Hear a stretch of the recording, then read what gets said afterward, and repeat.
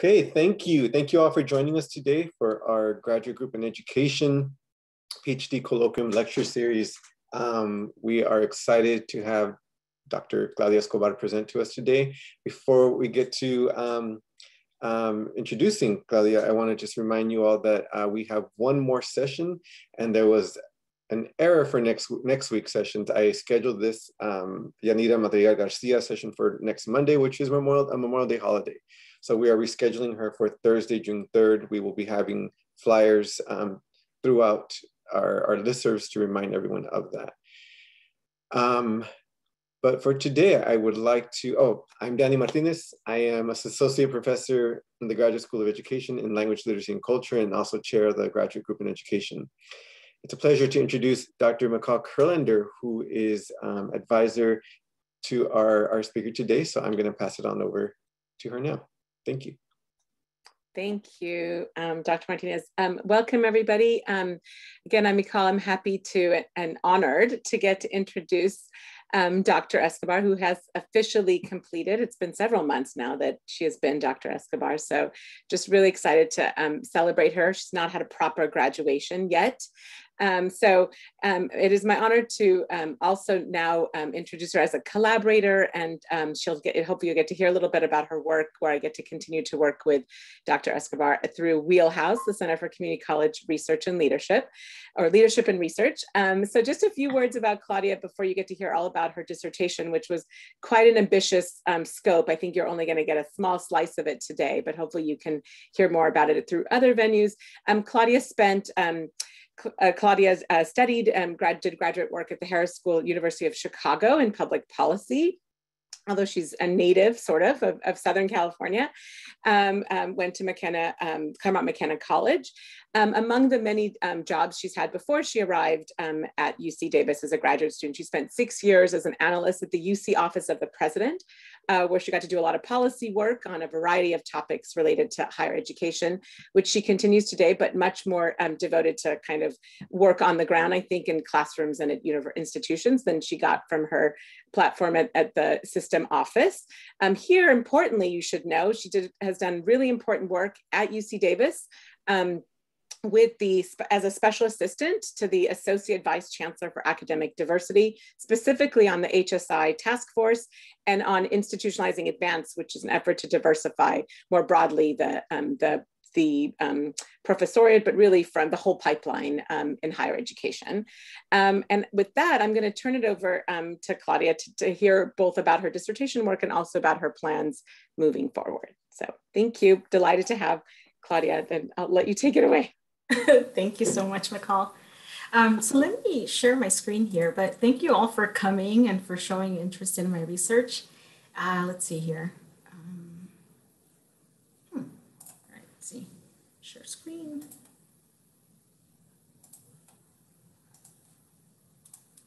All right, hopefully, is that showing up? Great, thank you. So yeah, so thank you for coming. I know we're all pretty busy. I know it's the end of the, the quarter as well, or getting close to it. Um, but I wanted to um, present, uh, you know, most of what I will do today is present this paper that um, I don't know what I don't know, which is an exploration of learning experiences um, and non-cognitive factors at this uh, broad access institution. Um, but I will uh, give you a bit of um, kind of a bigger picture of, uh, oh, that, there's something in the chat here. Okay, thank you. Hi, thank you everyone. Um, so let's see, uh, is it going? Okay, so here the, the goals for representation are um, to give you kind of a bird's eye view of my dissertation, which is, as Michal mentioned, ambitious. Um, and then um, present findings on this one particular paper, uh, work about my current, uh, talk about my current work, and then open it up to questions and hopefully engage more in a conversation.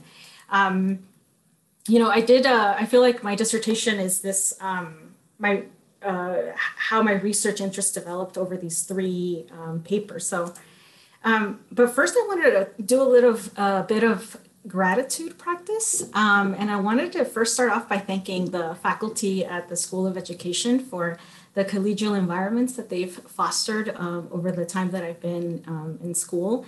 I'm also immensely grateful, as Michal mentioned, I went to these really two kind of highly selective institutions as well, and and they didn't have the same diversity that we have here at UC Davis, which I'm really grateful for. Um, believe it or not, I think I had the most women faculty and most faculty of color that I've ever had in higher ed. Um, and it really changed um, how I experience higher education. And so I'm really immensely grateful for that.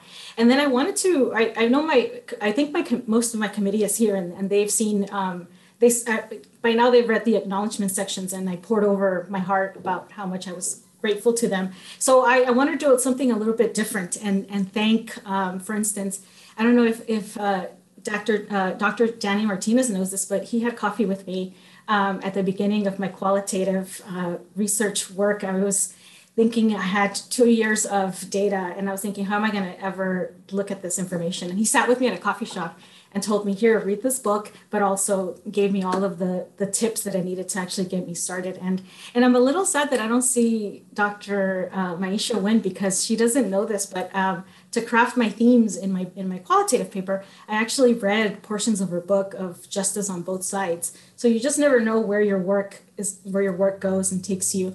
And then um, I'm glad to see. Um, I think I saw Dr. Patricia Quijada, but um, and also, um, so I took uh, social justice and education frameworks from Dr. Gloria Rodriguez, and I took this uh, critical race theory class from um, Dr. Patricia Quijada, and it really does inform um, what I consider the practice of research.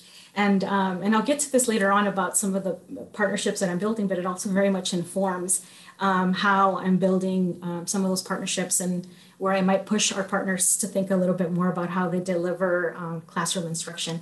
And so, and it also, in some regard, it also rounds out, rounds out the the theories that I kind of gravitated to and made me think about some of the limitations of the social psychology theories that are that I use to frame my studies.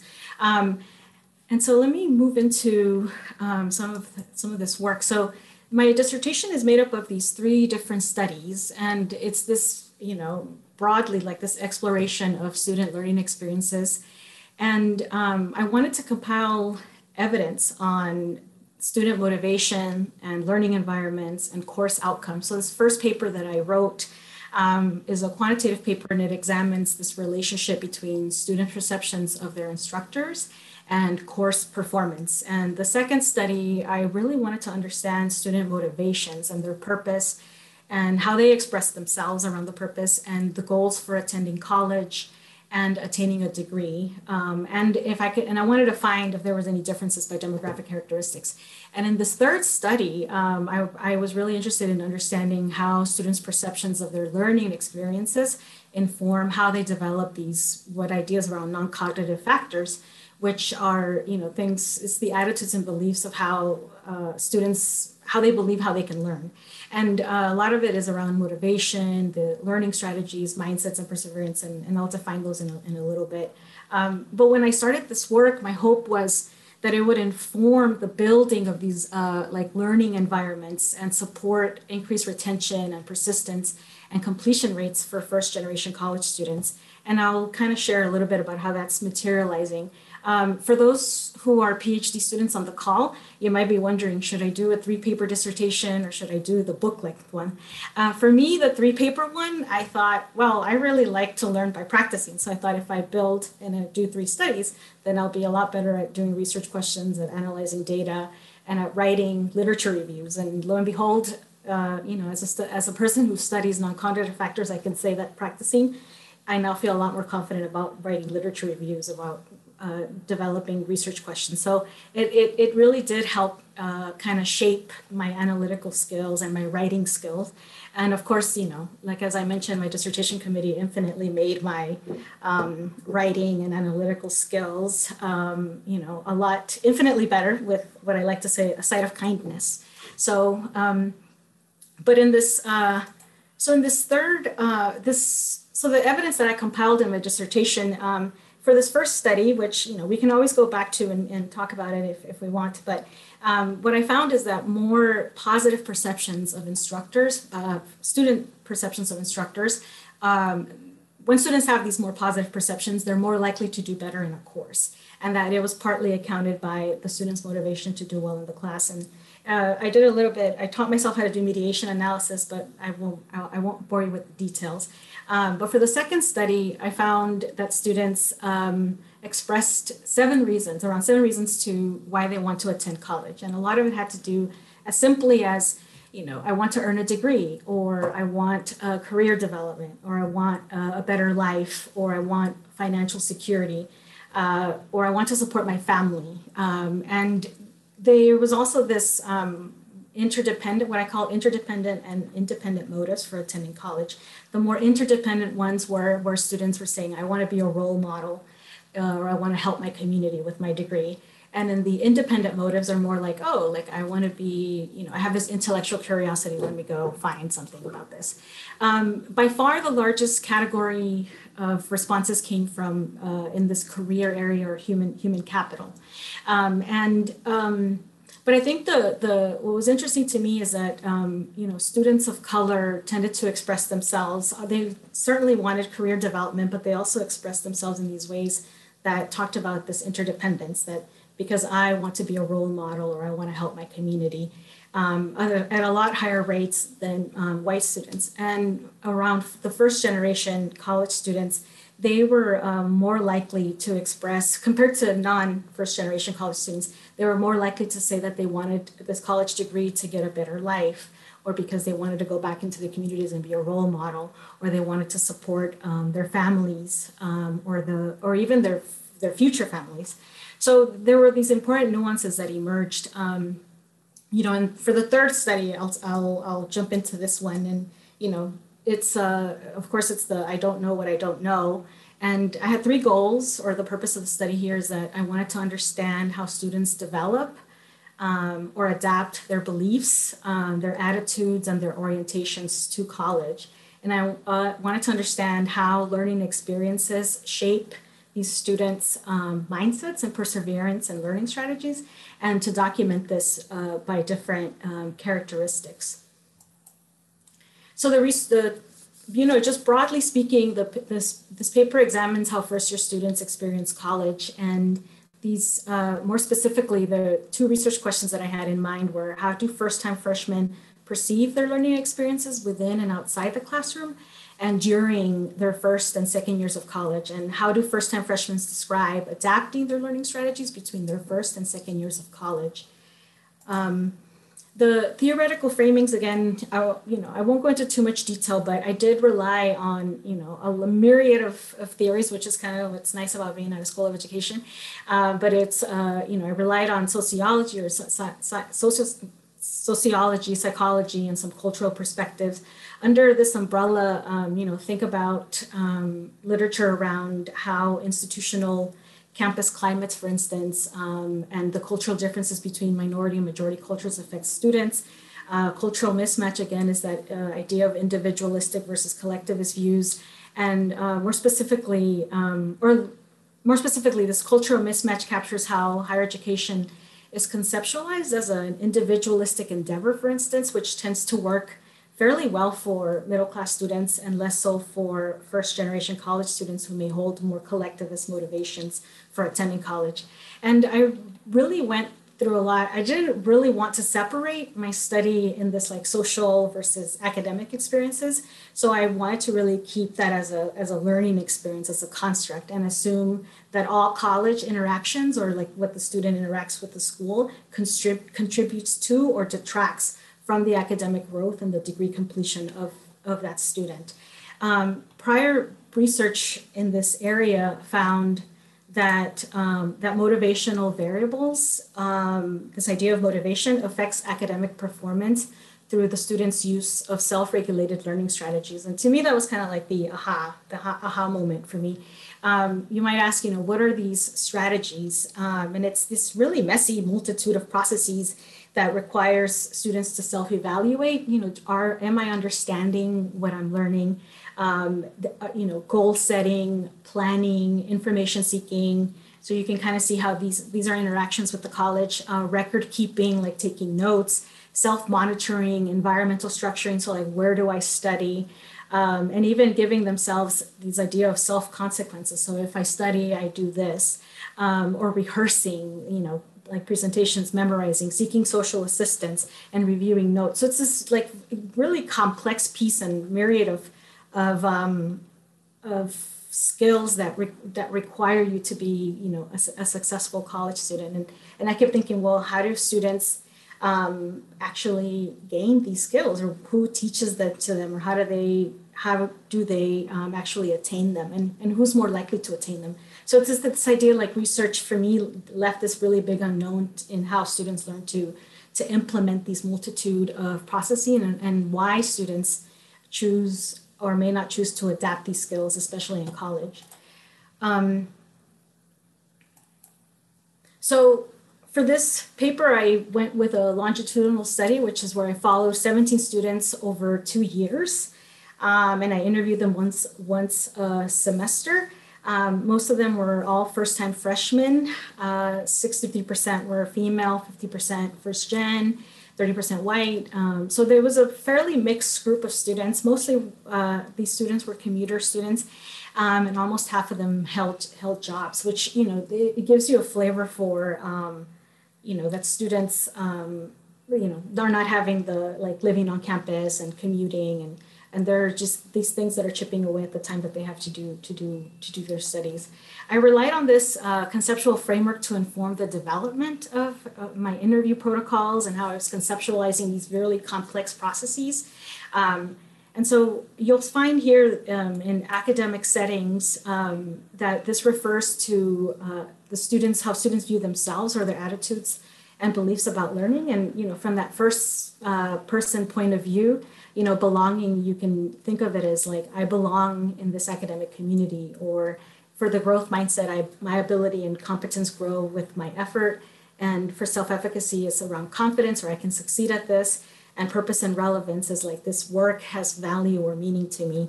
Um, and um, I was learning that through, uh, you know, the evidence in the literature is that mindsets are, are malleable.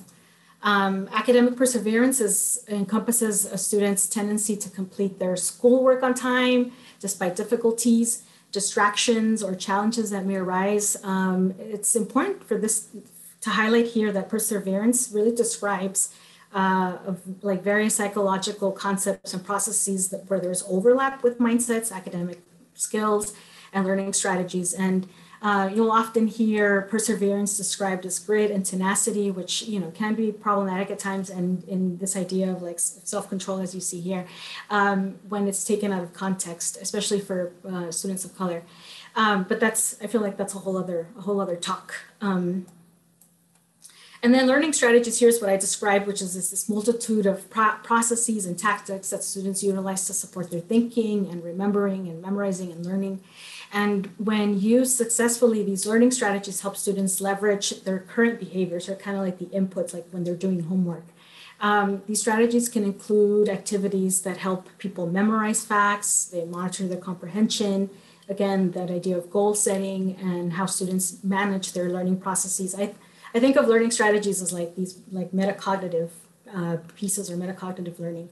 And um, let's see, uh, for academic behaviors, uh, this refers to the observable behaviors of, so it's like the inputs that go into academic performance and can include going to class regularly or arriving to class ready to work, uh, doing homework or organizing class materials and participating in instructional activities and class discussions. And academic behaviors are also considered malleable and shaped by like classroom contexts. So a little bit about uh, myself before I go into the themes. I wanted to I wanted to actually read a little bit of my dissertation to you because I feel like this is where I expressed myself lot, the best or most eloquently about my positionality and kind of like my thinking at the time. Because I, I, I think I finished the study maybe like a, a year ago around or or so. So, um, but I, you know, so let me just precursor that and say that, that the themes presented in the study um, are not meant to illustrate an ideal path towards college completion, but rather illustrate how different students, based on demographic characteristics and these broadly defined academic preparation levels, have different learning experiences within the same university.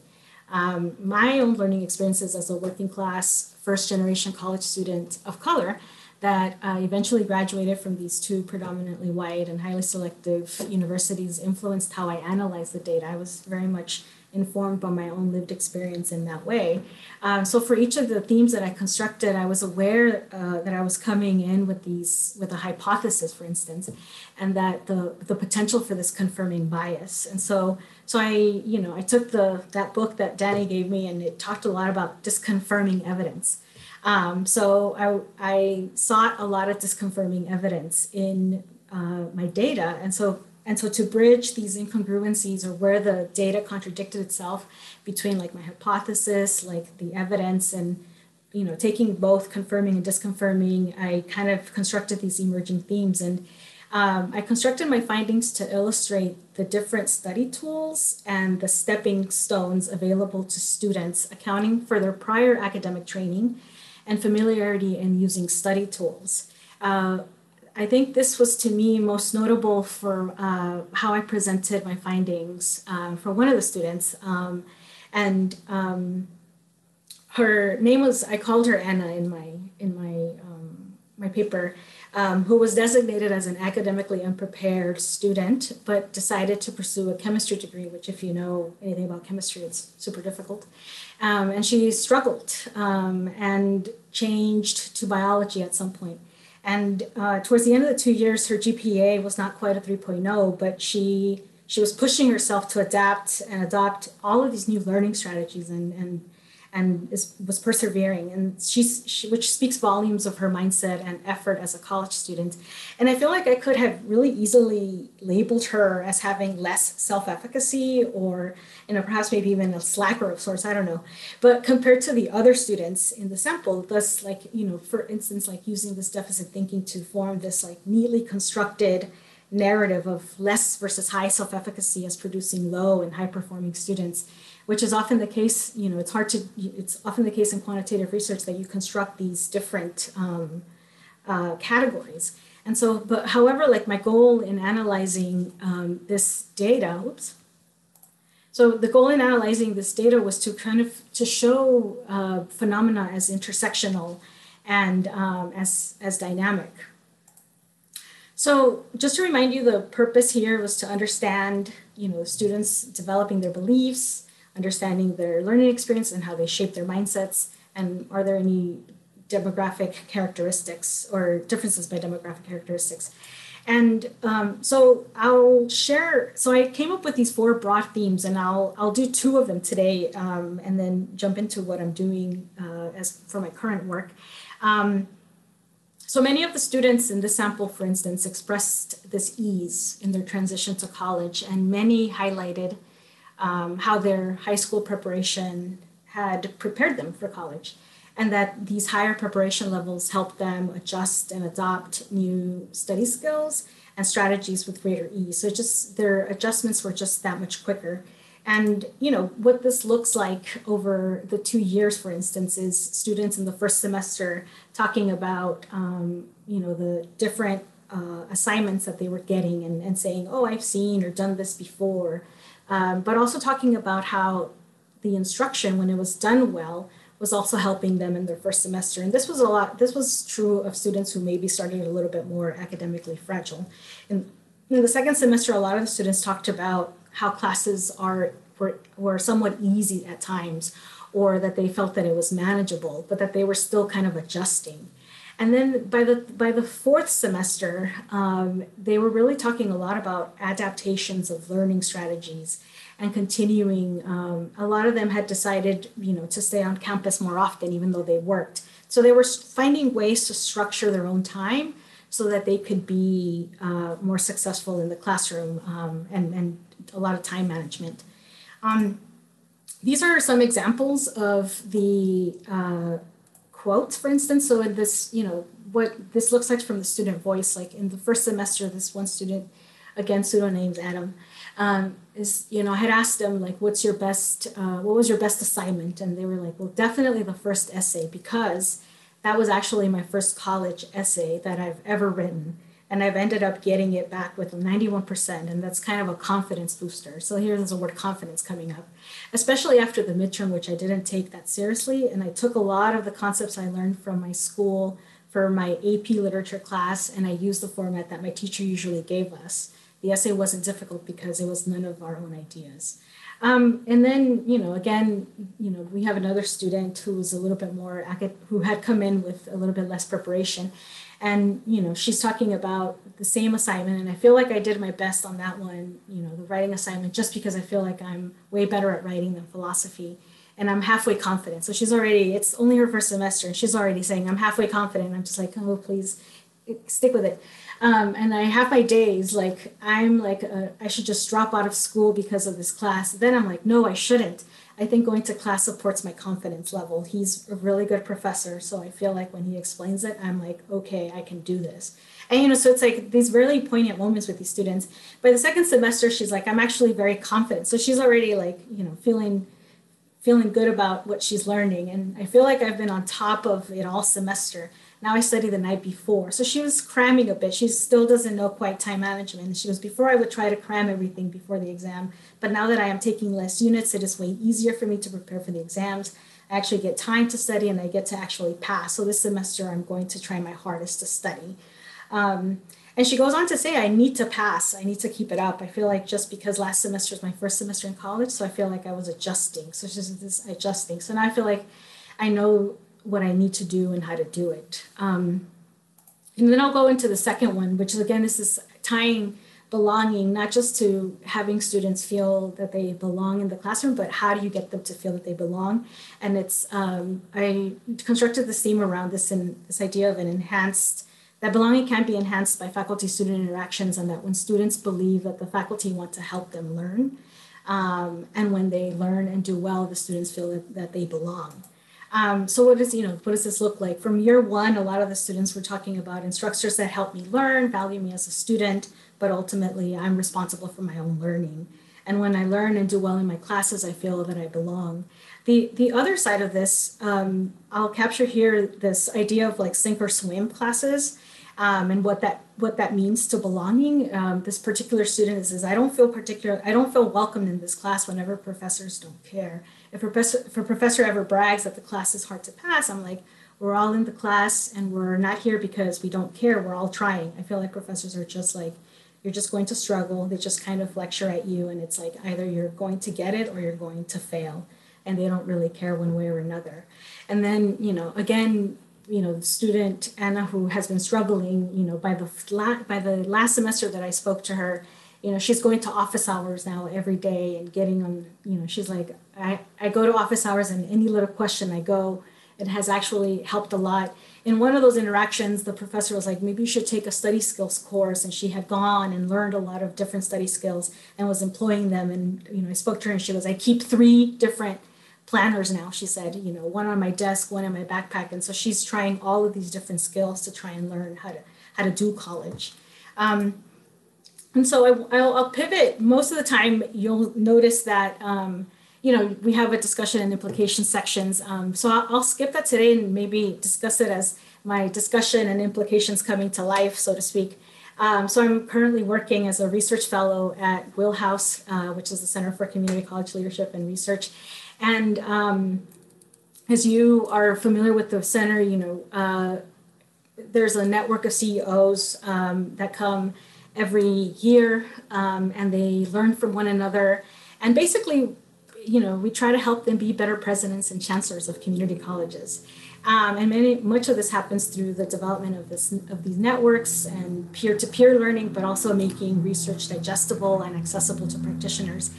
And um, again, this uh, you know over this past year, I've uh, built uh, built partnerships with three community colleges to pilot the use of a tool that actually allows faculty to regularly assess uh, through the semester how students from different backgrounds are experiencing their classroom. So it's very much of, like my dissertation coming to life.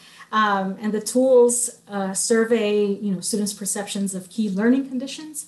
Um, what I like about my work is that instead of um, you know, uh, looking at the students, we're actually looking at the environment and like the what the faculty are actually doing, which is which is uh, which is is uh, really helpful. And um, so some of these learning conditions, you might wonder what are they? And it's uh, belonging, identity, safety, and institutional growth mindset, and I'll give you a flavor of this, which is for identity safety, a student may answer a question about like, I worry about being judged negatively based on my group membership. And it offers race, gender, um, social class, and or institutional growth mindset is this instructor seems to believe that students have a certain amount of intelligence and they really can't do much.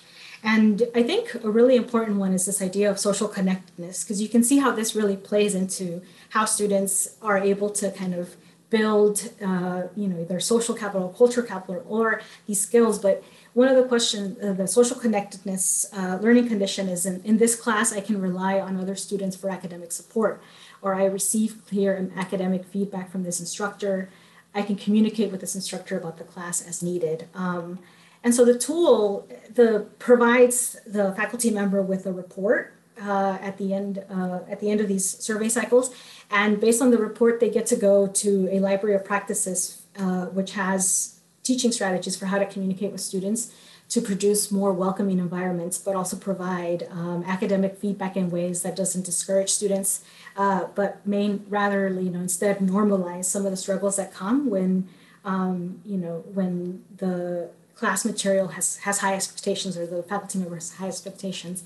Um, I'm also have been kind of, it's such a privilege, um, kind of looking at Susanna and smiling, um, that, you know, we've constructed uh, a survey tool to help community college leaders assess faculty and staff perspectives on racism and equity and their comfort levels and their skills to engage in difficult conversations about how race and racism and bias show up in hiring practices or other, you know, other structural barriers on campus. And we're currently working on analyzing data and writing um, to document how community college presidents and leaders are growing in their own skills and responding to the pandemic and the disproportionate effects on communities of color and working class communities that, have happened. So it's very much, uh, you know, if I had ever wanted to uh, have my dissertation come to life, or had, if I was ever wondering what structuring learning environments is about, I feel like I'm in it um, and I'm in it to win it. So um, I'll stop there and allow for questions, remarks, you know, anything. Thank you. Thank you, Claudia. Thank you so much for sharing your work. And I want to open up the space now. If you have a question, please feel free to unmute or um, so you can write a question into the chat box.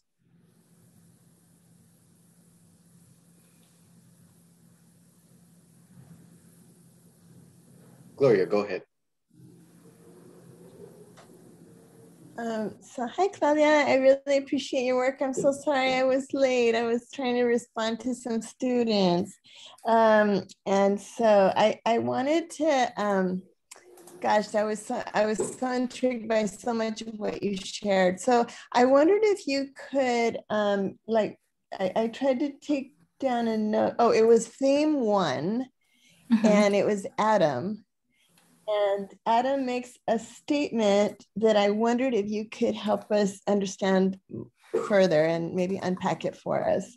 Um, so there's a statement there at the end where it's like something about like the that it was none of none of our ideas, and so that there was something about mm. the ease of the work um, or the confidence of the work, and that and that that was kind of like how how they ended it. And then the, the other thing i wondered if you could comment further on like how you're sort of you know interpreting um, the students um, you know who are so-called struggling. Because there's one i think you said anna was struggling or anna was struggling and yet there's so much agency um, being mm-hmm. reflected in her actions on her own behalf to try to succeed like going to office hours i mean i, I don't i can't tell you how many times i've tried to encourage my undergrads to just come just come mm-hmm. to office hours um, and and they just won't do it even the ones who are doing well they just won't do it so so both of those things i mean i just wonder like what did how did you interpret adam's statement that it was like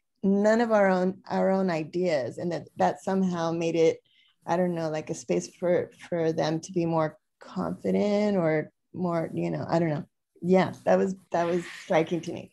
Yeah, I mean, I I still there's so the data is so rich, and so my initial read of it was none of our ideas, um, and knowing other things that that at least Adam said is that the first uh, those first few classes are introductory, and at some regard they're being asked to kind of pr- practice writing, but they're but they're not. Um, so they they get to practice some of this the mechanics of writing, but kind of devoid of you know the connections to to their own kind of you know experiences although they the class that we started that i started off with was a philosophy class so i recruited all of my students from that particular class and the professor did go through many lengths to make the class material relate to the students but when it came to the actual assignments, um, i think because it was like the first writing essay I suspect that the professor didn't want to make it too difficult for students. Is my is my my my read on it. Um, but there were other things that that uh, were tripping up the students in, in other ways. Um, in terms of s- struggling, um, you know, I I when I think of Anna as a student. Um, I actually she was very intimidated by the faculty as you were as you were describing. So, you know, I don't know quite how to paint that picture without not saying struggle. Um, it, it, wasn't that she was struggling with her own um, skill set, but she was, I, she didn't quite, uh, you know, these classes are well, the classes she was in this first semester were hu- huge. Like they were you know 100 students. And so i often wondered if the struggle was more about you know the environment. She was struggling with the environment um, and not really knowing what to expect. Um, and and one of the few students who actually lived on campus and spent a lot of time in her room not going out and i found that to be like you're saying you know problematic like like go to office hours. Like I felt like being like, go to office hours, but I was like, okay, I'm the researcher right now, so I can't. But she did. But she did. And but she eventually, she but she eventually did. Yeah. yeah. I think it and, took. I think it took that first semester for her to feel yeah. like she was passing her classes, and then she slowly started to come out of her shell. But she was actually experiencing a lot of anxiety. Yeah. One of the things that I think has been helpful to me that I've learned from, you know, just working with teacher educators is mm-hmm. to, the specificity of language, particularly in describing student experience. And mm-hmm. so I feel like um, because what happens is that we can't, there's a danger in lapsing into this sort of like deficit descriptions that somehow struggling becomes an innate quality of Anna as opposed mm-hmm. to Anna is struggling with the large class sizes, the learning environment. So I'm so excited for you that you're moving into now the ability to look at the environments and look at what faculty are doing as opposed to only seeing the student mm-hmm. perspective, but but that you started with the student perspective, which I think is powerful. So yeah, yeah. yeah. I congratulate you on your work yeah. Yeah i'm looking at the question were any of the findings surprising to you and are informing your research going forward? And i think what you just said actually gloria is probably a big a, a big piece is um, that again we've you know over the years especially being at the school of ed it's been really instructive to really think about you know who is the focus who is the lens for the research. And and i'm grateful for starting with the student perspective and i'm also really excited about pivoting. So the, the finding to me is um, that was surprising is is actually not particularly in you know it's been a while since i looked at this. So my first instinct is that the combination of the student experience and what i'm doing now is the interesting finding is that just pivoting just makes all that that difference. Um, I'm trying to think. I would have to say that one of the things that was surprising was um, how students, um, what gets students to come out of their shell. Uh, I still don't feel like I have a good understanding. Um, I felt that students who came into the college with friends were a lot easy had a greater ease. So it's like the more that students multiply their friends or go out and put themselves out there, the more they're likely to accrue some of these skills through their peers. Um, I think some of the quotes that I still kind of, you know, every once in a while keep me up at night is that the students who actually were doing the best in the classrooms were the, probably the ones that were the least likely to want to help other students.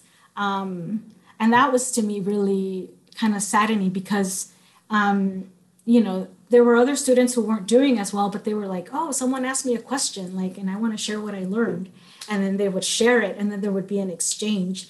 But there were just, you know, the, the higher performing students were also, I felt, you know, talked about, um, you know, either talked about not being able to keep up with other students who were doing better than them, or they were like, I don't want to waste my time helping other, basically helping other students because I'm trying to like, you know, do better in my courses. So, you know, I thought that was that was kind of sad to me and, and somewhat surprising to, to hear them make that calculation. I guess was was was was surprising. We have a question from Paco, Mr. Um, thank you, Claudia. Um, great presentation. Um, so I was wondering if you could talk a little bit more about um, your positionality as having gone to like a very um, selective, you know, well-resourced um, undergraduate institution, and then kind of like the contrast with that with the the circumstances with the students that that uh, that you were you're working with, and kind of like how that you know how that helped you think about the, the the data that you collected. Yeah, I mean, gosh, like I, you know, I I would probably say that most pressing or that leaves the most um, kind of in, in, indentation or whatever you want to call it. Um, maybe my undergraduate experience because of the just the stark difference between, um, you know, I didn't share. I, I grew up in Pomona in Southern California, and um, I went to Claremont McKenna College, which is 15 minutes away, but a world's difference. Um, you know, and I was used to sit in classes where they would say, don't go below a certain freeway, which is where my family lived. And it was just this, you know, walking around just felt so, so hostile. And I didn't really understand it um, until maybe when I was, when I started feeling like, uh, you know people were discussing like the car that i was driving for instance like overhearing people talk about the car that i was driving versus all of the other nice cars that were in in the classrooms and, and but also you know where people had gone to vacation the summer before and i was like working at a factory with you know my mom and stuff whatever so you know all of those things you know they seem they seem uh they you know we know now that it matters but it, how does it matter to studying? Like, how does it matter to accruing the skills and having students feel that they're learning what they need to learn, but also the confidence and in, in being able to become part of that fabric of the institution? And so I feel like a lot of those experiences that I had in undergrad and sometimes even in my master's program, even though I was a, a bit, you know, I had already worked enough to be, you know, somewhat middle class, I guess. Um, and it was just this these exchanges in which you're talking about one thing, but underneath it, there's sharing of knowledge that's happening. Um, and it made me really look at when I was listening to students talk and listening across different students, given their their own positionality, then I, I could I could see that there were just all of these different ways in which students choose to interact with one another based on these different factors. Um, you know, and but again, you know, I was looking for uh, this disconfirming evidence when I could. You know, like, am I just confirming my own bias? So I don't know if that answers your question, Paco. Yeah, it does. Thank you.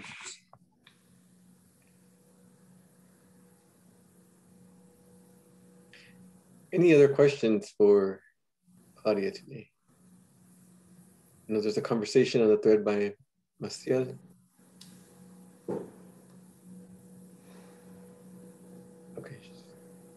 Mm. Yeah, this the individualism piece. I mean, it's uh, it's for. I'm still, I still think about this, um, and how can we not make it individualistic um, when so much of the teaching or the, how you learn is also there's a tension you know you you learn by studying on your own and then you have to go out and kind of reinforce the learning with other people um, so, yeah. Ah, the surprising finding. Okay. Do you want to say more, Maciel? I don't know where. Sorry, no. Um, I I was just uh, commenting uh, or um, making a a follow up uh, of the surprising finding that you had about um, you know what kept you up at night the yeah. students who were achieving um, you know maybe getting the best grades um, if that's what we're calling achievement um, but not really uh, helping their peers um, and and how that is in some ways they were um, like when when I look at tr- any transition, right? There's like transition to middle school, transition to high school, transition to college is what we're talking about here. There's both the the kind of the developmental needs of the individual and then the the environmental conditions that might meet the needs, right? So then th- in this case, um, it really reminded me of that, right? That stage environment fit, where if the environment um, um, uh, values and rewards um, that type of, you know, self-regulated learning that is very individualistic, those those are the students who are gonna adapt better. They're gonna match that environment the most. Mhm. Um, and so, um, whereas a mismatch, right, that's where you see the the kind of the struggle in the in that initial uh, stage. Um, so I guess if if you were you know following following up on the implications and the the, the awesome work that you're doing now and you'll continue to do, um, wondering what what you think um, uh, would be the you know is the take home like do do the environments need to be more collectivistic? Does it need to be a mix? Does it you know uh, does how we value or you know what we evaluate the assessments et cetera like what does that how does that need to change? Yeah, I, my first inclination around the structuring piece um, is it made me think of the library of practice that is available to um, to the faculty members in this pilot that I've been working on, and one of the practices there is how to get uh, how to help build more connections among students um, in the classroom and um, and building community. And what's been interesting is that um, some some of the faculty are kind of like that's not like it's out of my control. Like how do I get students to build? And there there are some ideas. So there there is a possibility to do that within classrooms. Um, but the, the the machinery of higher ed is just so much more. You know, there's I, the first thing that comes to mind is the the rankings, you know, and and um, that they're so you know how we lead or how we position institutions to go forward or what what the goal is. Um, you know, that's we haven't really made peace with with that in higher ed, or at least there's a lot of different goals and a lot of different rewards. Um, you know, that affect I think how how things are taught in the classroom or what is taught in the classroom and what the rewards are. Um, I don't know if that answers your question. Probably it doesn't. it, it wasn't a question it was just more an invitation but uh, I, Mhm. I appreciate all your work fantastic i think everyone here enjoyed it thank you Thank you. Thank you, Claudia. I want to um, thank you for um, presenting your work to our community here, and I want to thank the, the rest of you all for joining us today. Um, a quick reminder that next week we are going to have a change. I said this at the beginning. Um, we will not be meeting on Memorial Day. Um, thank you to Dr. Rodriguez for making that uh, making this oversight apparent to me. But we're going to move uh, Yanira Madrigal Garcia session to Thursday, June 3rd at 12, 10 p.m. You will receive um, emails about this. And um, again, thank you for joining.